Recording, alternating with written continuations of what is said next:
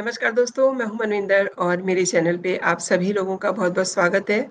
मैं सभी का अभिवादन करती हूँ, सभी का खैर मकदम करती हूँ और उत्तर प्रदेश की तमाम जेलों से आठ सप्ताह की पैरोल पर कैदियों को रिहा किया जाने का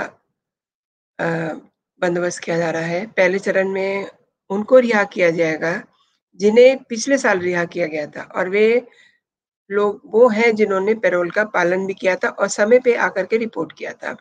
सुप्रीम कोर्ट के आदेश के बाद शासन स्तर पे इसकी तैयारी शुरू कर दी गई है और जेलों में कोरोना को बढ़ते मामलों को देखते हुए पहले ही इसकी तैयारी की जा रही थी। अब सुप्रीम कोर्ट का निर्देश है तो उसका पालन करना ही है, ऐसा कहना है डीजी जेल का। जिन लोगों को पिछले साल छोड़ा गया था, उन्हें इस साल भी छोड़ने के निर्देश न्यायालय ने दिए हैं।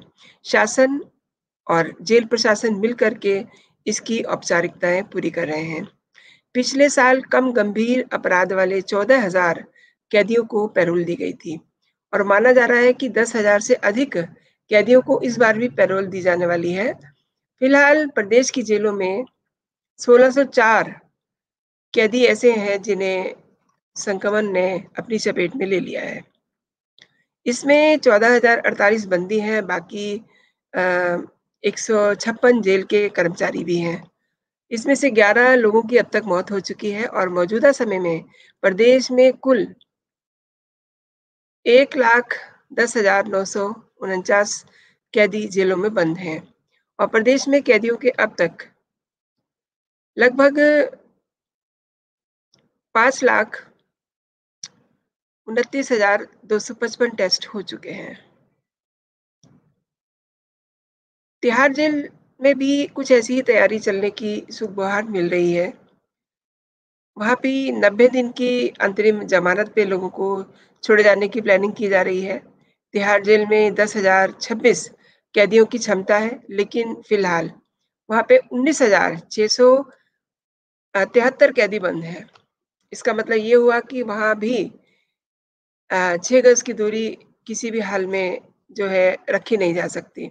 जेल में कोरोना संक्रमण की सेकेंड वेव के चलते 300 से ज़्यादा कैदी और 100 से ज़्यादा कर्मचारी इस समय इफ़ेक्टेड हैं। इतना ही नहीं, बीते हफ़्ते अगर देखें तो 5 कैदियों की कोविड से मौत हो चुकी है। इसलिए तिहाड़ जेल प्रशासन ने ये फैसला लिया है ताकि जेल में सोशल डिस्टेंसिंग का पालन करवाया जा सके। वहीं दिल्ली की सबसे बड़ी जेल में कैदियों के संक्रमित होने और कुछ कैदियों के मरने की खबर के बाद जेलों में कोरोना को लेकर के पैदा हुए हालात पे सुप्रीम कोर्ट भी काफ़ी सख्त हुआ है, उसने संज्ञान लिया है। जेलों में कोरोना के हमले के बाद सुप्रीम कोर्ट कैदियों को जमानत पे रिहा करने का विचार कर रहा है। कोर्ट ने ये भी कहा है कि आदेश जल्द ही पारित किया जाएगा। सुनवाई के दौरान सीजेआई एनवी रमन्ना ने कहा है कि इस वक्त हालात बेहद नाजुक हैं, बेहद खतरनाक है। कोरोना की दूसरी लहर पिछली बार के मुकाबले कहीं ज़्यादा परेशानी में डालने वाली साबित हो रही है।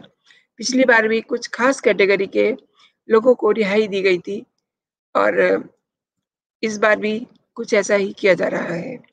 तो दोस्तों, ये थी जेल में जुड़े हुए जेल में जो कैदी इफ़ेक्टेड हैं कोरोना से, उनसे जुड़ी हुई खबर। आप मेरा चैनल देखते रहिए और हाँ, अगर आपको मेरा कंटेंट पसंद आया है, तो आप मेरे चैनल को लाइक कर सकते हैं, सब्सक्राइब कर सकते हैं। अगर आप पहली बार मेरे चैनल पे आए हैं, तो आप मेरे चैनल को सब्सक्राइब भी कीजिए।